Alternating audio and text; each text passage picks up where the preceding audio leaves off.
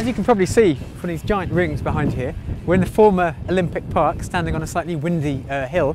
And in the background is the velodrome, the cycle track, where so many gold medals were won and records were set. And over the next couple of hours, we're going to be trying out all these things, and it should be a lot of fun.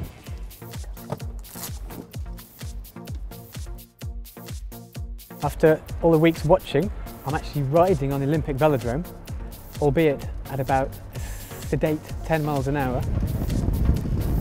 It is weird. Even at this low level of the banking, it feels like your bike can't possibly stay at that angle. But of course it can.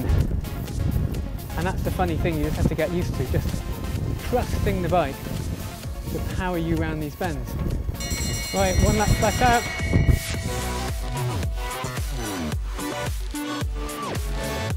Ah. Absolutely brilliant.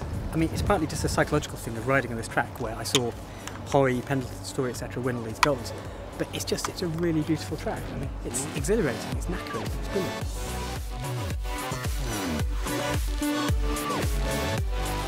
We're now about to go around the one mile road racing circuit.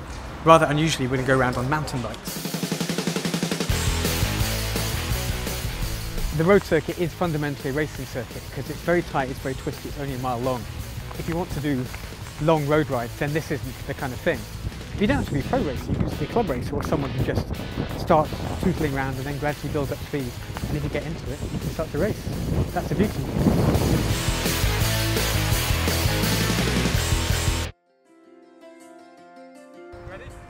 And now the BMX track, the other Olympic venue. And I will be doing an impersonation of a boy of 12 by riding this little thing, which is actually a full-grown BMX. I've been on the Manchester indoor BMX circuit, and this is arguably tougher. It's got really, really quite steep ridges. Um, but, you know, like track, it's just exhausting. You're pedaling the whole time, using the whole weight up and down.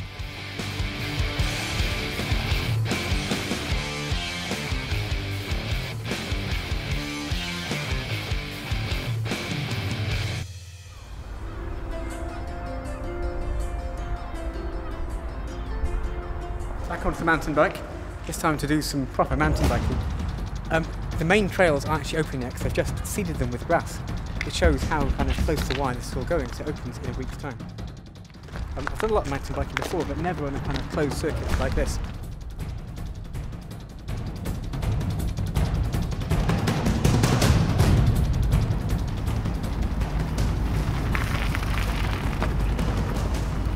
So in about a couple of hours, not much longer than that, we've done track riding in the velodrome there, which was great fun. We did BMX, which was brilliant. We did a quick circuit around the road circuit, and we did some mountain biking on the mountain bike skills course, all of which were brilliant. And you don't necessarily have to be an expert to do any of them, so it's definitely worth coming. Um, but for me, I'm on a windy hillside, dressed in very silly clothes, so I'm going to go in and get warm.